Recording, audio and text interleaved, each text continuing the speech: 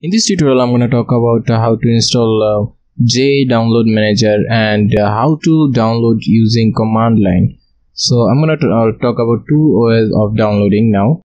Firstly, I'm going to show you how to download using command line. Now I'm going to download uh, Google Chrome. So let's download it. For download using uh, Google command line, you have to get your download link. So I'm going to copy my download link Google Chrome downloading link and now you have to open um, terminal by control alt t and then you have to type wget w g e t then space then uh, you have to name your uh, file that you're gonna download. You can see it's uh, .deb file. So i'm gonna uh, give the, give the name google chrome .deb then space then you have to paste the link and then enter. So that's it your uh, download my download is started.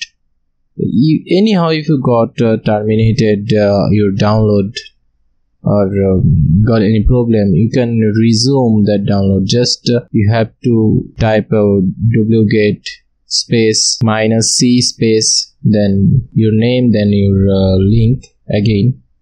Then you, you in this way you can resume your download. So that's it another way of downloading is download j download manager. I'm gonna leave a link in the description below so you can download uh, j download manager.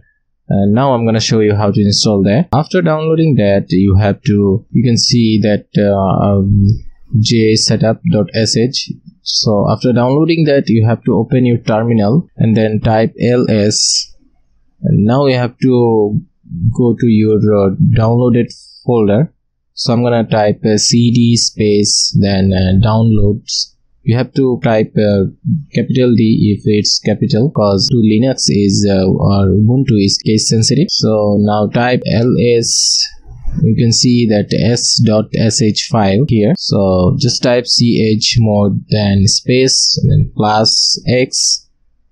Then type your uh, file's name and enter. Then ls you can see there it's in uh, .sh file is in uh, green color.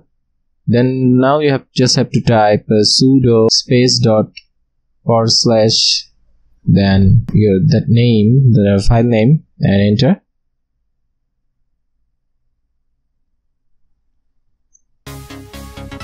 Then after that you will see something like that. Just uh, hit next next next button and after that just finish it.